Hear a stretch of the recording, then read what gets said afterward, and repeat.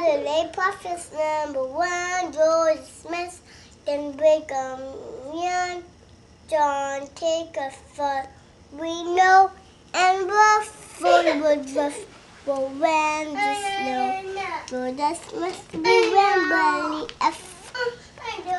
Hebrew they drank and grew up Smith. David O. McCarry for Celine Smith.